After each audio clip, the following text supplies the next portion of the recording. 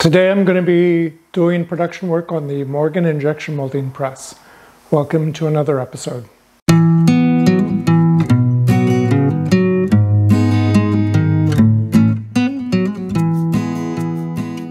I have a couple things in this episode. The first is I made a few more molds. I don't have a lot of uh, video on that.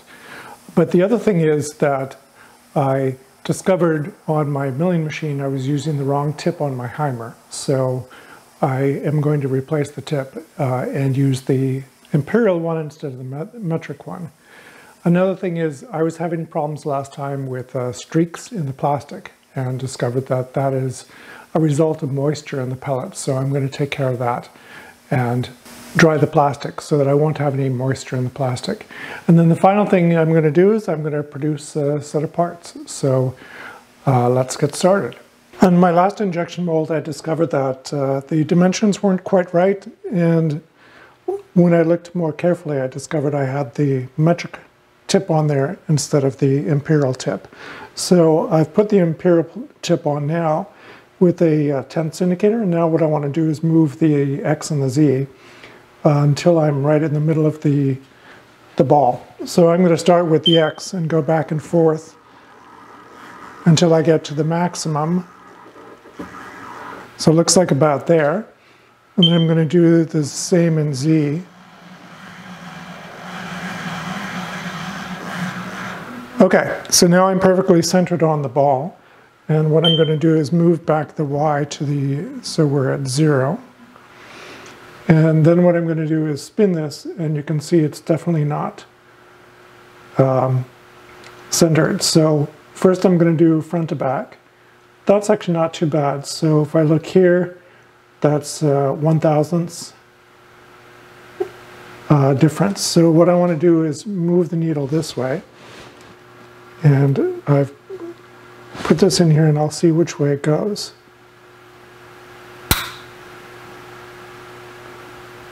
Okay, so I have to loosen this one first. Looks like.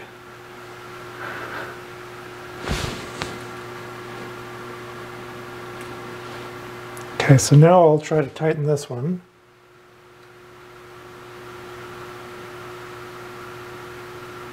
Okay, so I split the difference. And so if I go between the front and the back, it's pretty close. So now I'm going to do side to side. So here I need to go this way, which means I need to loosen this one first.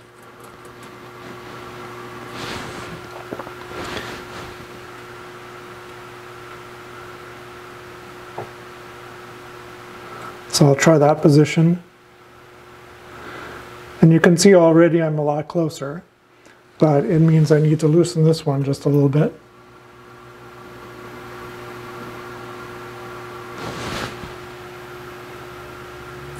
And then move this one a little bit more.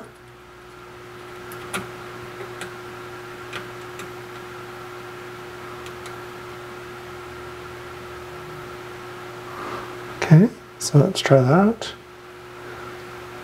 Okay, and I'm going to keep going back and forth and doing this until I get this completely, uh, the run out to uh, as small as I can. Okay, after a few minutes, and actually wasn't as many as I thought,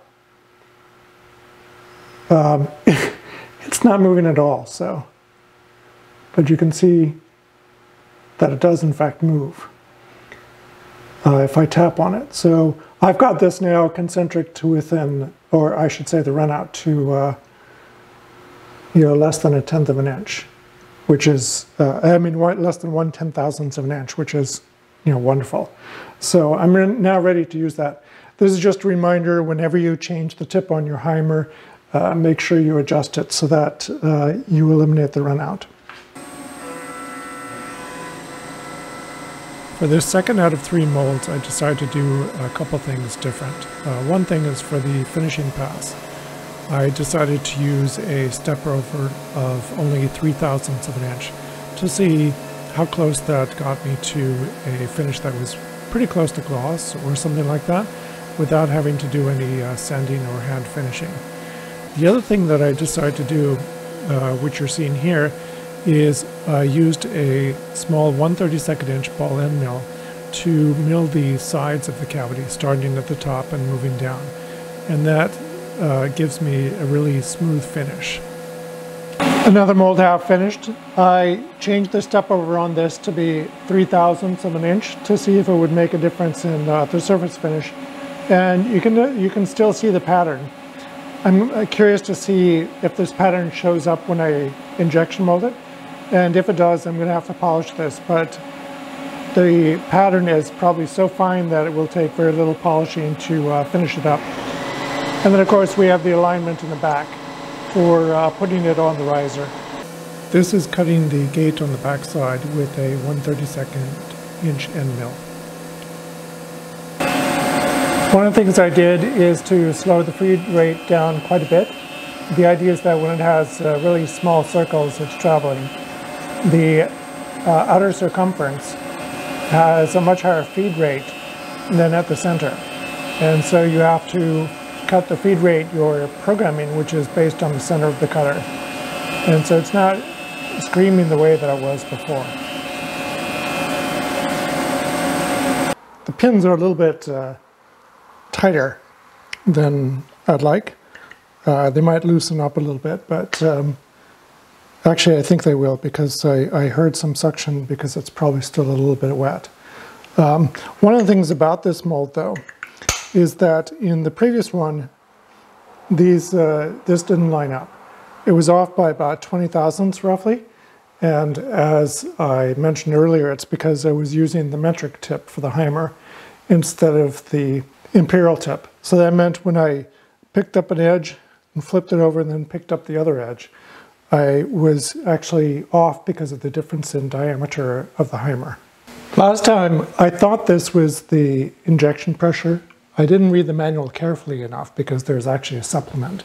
The main manual is the one that I read, but I didn't read the supplement. The supplement describes the additional system that I have with uh, a pilot valve in the, in the back, and it says that this should be between five and seven.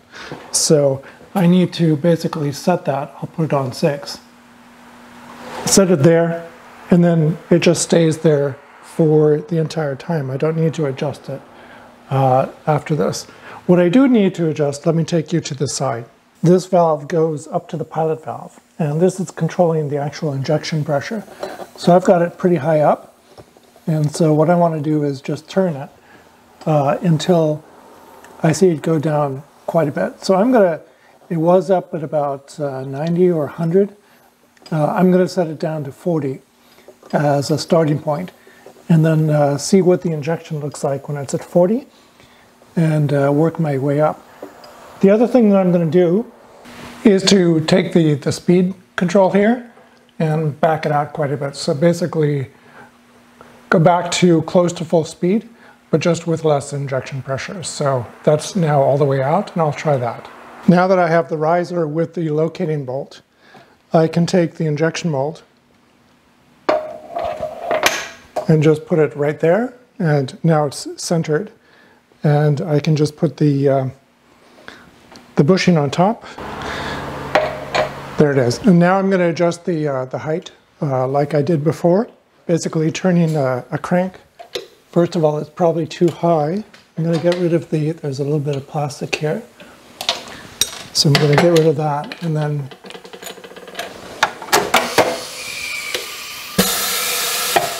Yep, too high. So I'll drop it down. I'll try a few turns first and see how it is.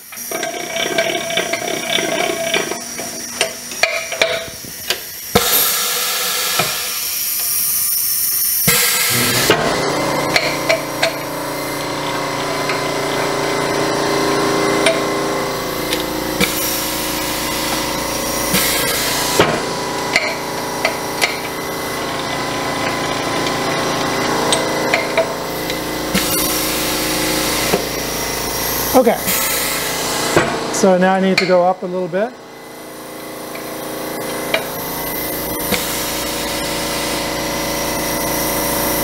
Okay, looking at it here, let me show you. So I'm watching this mechanism here, and I want it to go over center. And you can see it doesn't quite go over center. So I'll drop it down half a turn, a quarter turn. And then give it a try again to see if it goes over center. Yep, and that's the uh, perfect uh, setting that I want. So let's give it a try.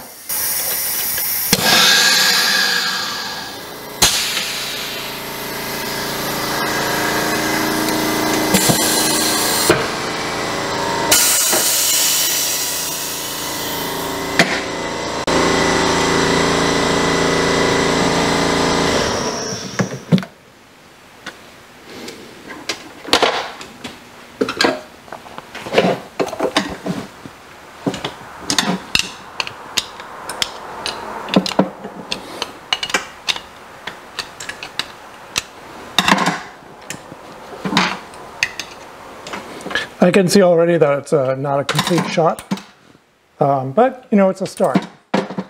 So what I'll do is I'll put it back together, put it back on, and I'm going to increase the, the pressure to probably 50 and give it a try again.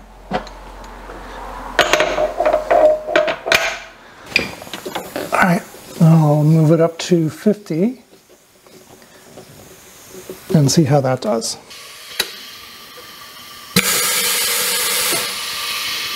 Punk. All right, let's uh, inject.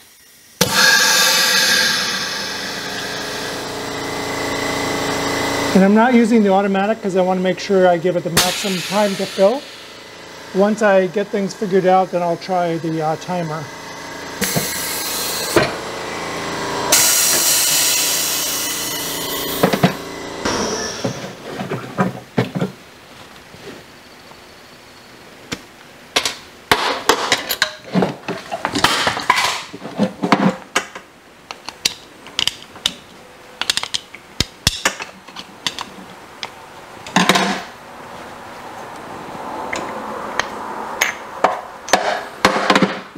And that's a uh, complete shot.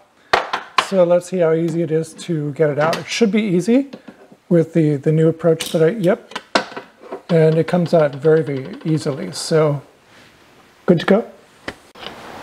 I was getting a lot of uh, streaking, as you can see here, and I was wondering what this was. And uh, what I discovered is that this is a result of moisture in the pellets. So I dried the pellets in a toaster oven at uh, 200 degrees Fahrenheit for uh, about four to five hours.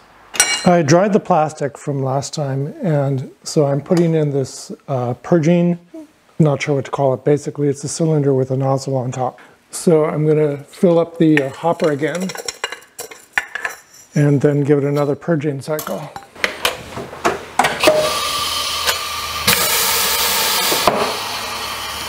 Okay, here we go.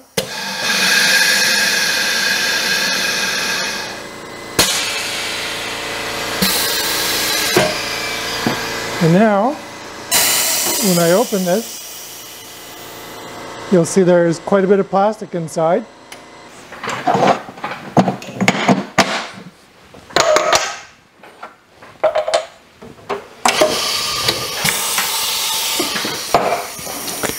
I uh, put in a little bit of plastic at the top, which I know you can't see. Okay.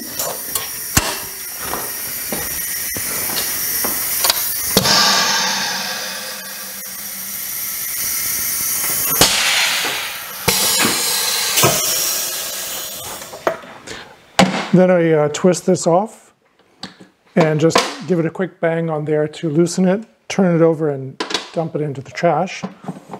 And then this just turns over like so, a quick release and there's a, a part. So it's turning out much better than it did before. As you saw, the, the parts turned out really well. Let me uh, show you a close-up of uh, one of them. And you can see that the, the finish is really nice. There's no streaking at all in the plastic. Uh, it's coming out perfect. So drying the plastic at 200 degrees Fahrenheit for uh, two to four hours as suggested took care of all the problems. It works beautifully, so I'm really happy with that.